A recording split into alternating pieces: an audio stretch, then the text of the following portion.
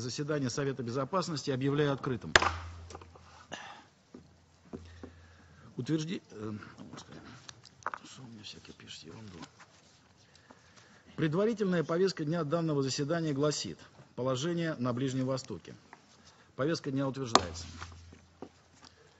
На основании правила 37 временных правил процедуры Совета я приглашаю представителей Австралии, Австрии, Андоры, Бельгии, Болгарии, Венгрии, Германии, Грузии, Дании, Ирландии, Исландии, Италии, Канады, Катара, Кипра, Коста-Рики, Латвии, Литвы, Люксембурга, Мальты, Мексики, Нидерландов, Объединенных Арабских Эмиратов, Польши, Румынии, Саудовской Аравии, Сирийской Арабской Республики, Словакии, Словении, Турции, Финляндии, Хорватии, Чешской Республики, Швеции Эстонии принять участие в данном заседании. Решение принимается.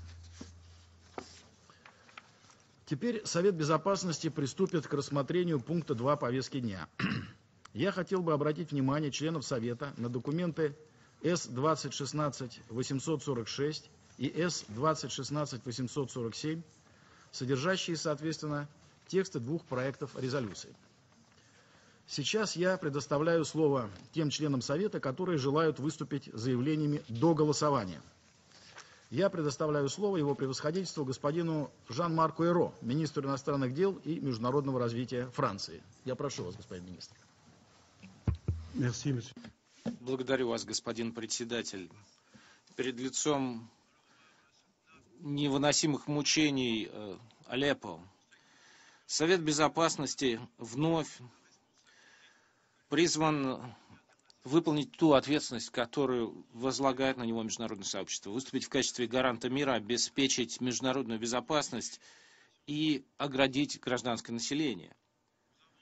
Мы вчера выслушали выступление спецпосланника ООН Стефана Домистуры. Его описание ситуации. Это ведь э, голос тревоги. Если это будет продолжаться, мы до конца года будем наблюдать полное разрушение Алеппо.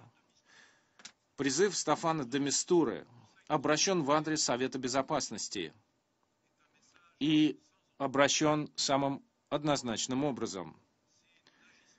Если мы не отреагируем на это, этот э, город превратится в лишь в груду руин, и в истории он останется а, как город, а, население которого было брошено на резню. И почти 15 дней тому назад я в Совете призывал от имени Франции к незамедлительному прекращению огня. И с того момента мертворожденный договор, э, мертворожденное соглашение по этому вопросу не позволило этого сделать. И сирийский режим э, приступил к жесточайшему достижению своей цели. И цель эта никак не связана с терроризмом, э, с борьбой с терроризмом. Это цель капитуляции Алеппо, Дарая, Хама, Алеппо. Каждый раз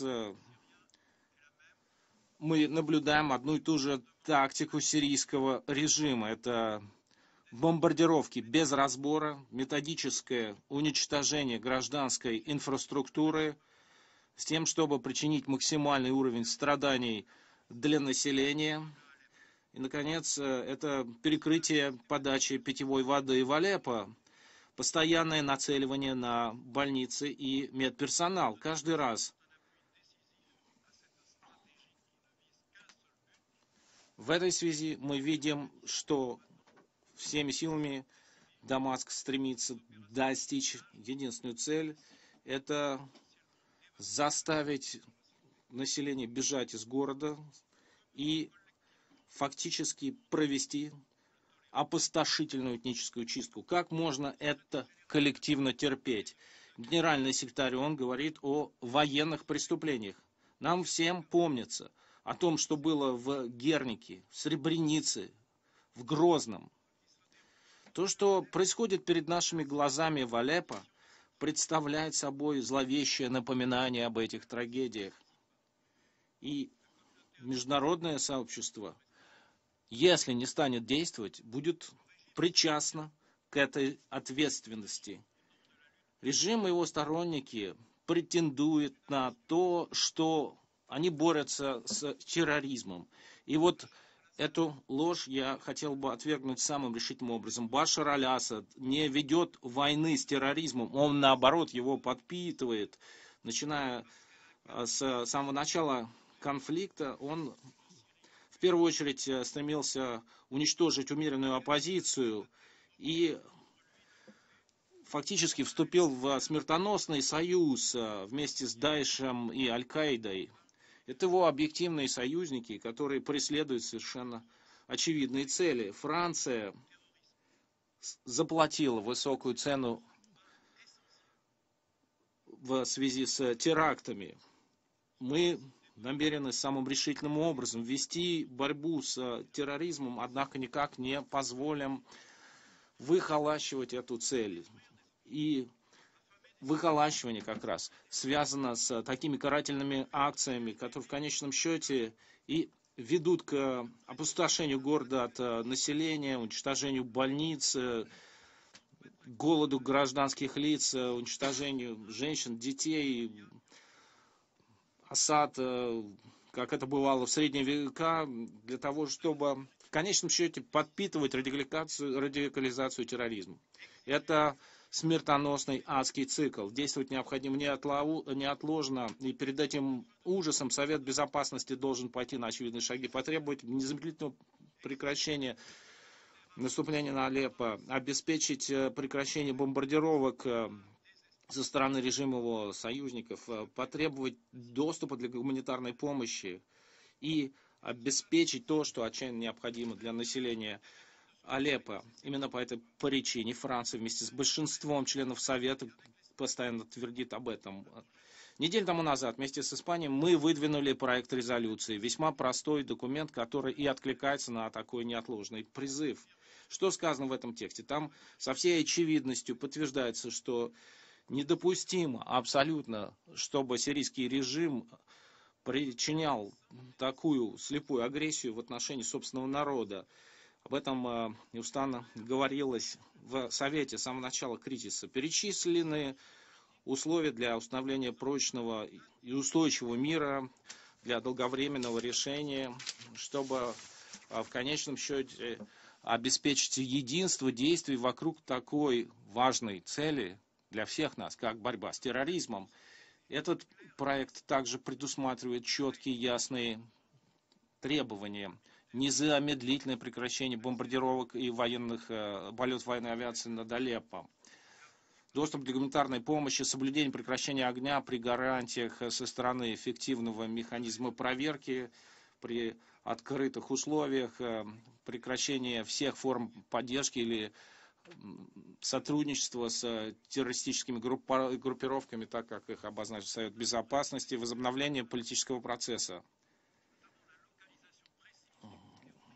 Определенным кругам хотелось бы прекратить в первую очередь э, воздушные удары в связи с э, ударами по группам террористов. Здесь очевидно, что бомбы падают на город и на головы гражданского населения. Нет четкого разграничения между террористами и населением. Поэтому самым неотложным образом необходимо прекратить бомбардировки. Это первое непреложное условие, которое обуславливает все следующие шаги. Этот проект резолюции мы представили на обсуждение. Вели обсуждение в духе доброй воли для того, чтобы охватить все международное сообщество и повести его к одной простой цели. Здесь э, были законы озабоченности высказаны. Я с открытым сердцем готов был работать до последних дней, последних часов для того, чтобы добиться консенсуса, действуя предельно искренне, без каких-либо задних мыслей, исходя исключительно из того, чтобы добиться восстановления мира в Сирии, для того, чтобы прекратить мучение этого народа, для того, чтобы обеспечить э, прекращение ужасающей драмы для миллионов э, беженцев и перемещенных лиц. Я считаю, что подавляющее большинство членов Совета Безопасности понимает и поддерживает такой курс. Принятие этой резолюции может э, дать населению Алеппо, сирийскому народу, всем нам новый луч надежды. Надежды на то, чтобы вырваться из спирали насилия, чтобы добиться новой политической динамики, опираясь на незамедлительное возобновление переговоров а, по переходу, в связи с чем Совет Безопасности почти год назад единодушно установил а, контуры. Если, несмотря на широкую поддержку, наш проект будет отклонен, что останется? Еще больше смертей, еще больше беженцев, еще больше перемещенных лиц. Но нельзя не сдаваться, не отказываться. Необходимо, чтобы каждый понимал последствия таких э, очень серьезных шагов, потому что виновные в военных преступлениях не останутся безнаказанными. Тот, кто применил химическое оружие, они будут э, выявлены и будут наказаны. Те, кто помогают режиму, также берут на себя ответственность за последствия.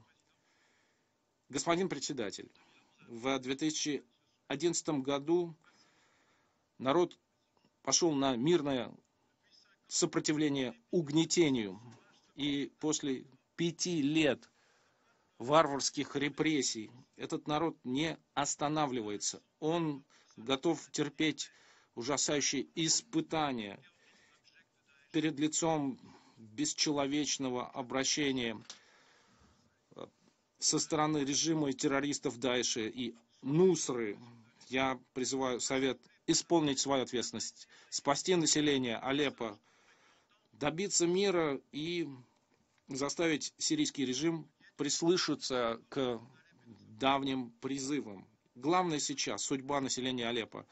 И мы должны все-таки наконец положить конец конфликту, конфликту, за который мы все заплатим в плане его дальнейших последствий. Перед лицом очень серьезных последствий в связи с тем, что эта резолюция будет отклонена, надо сказать, что для Башара Асада возникнет еще одна возможность продолжать убийство. Это еще одна подпитка для террористов. Надеюсь, что Совет Безопасности этого не допустит.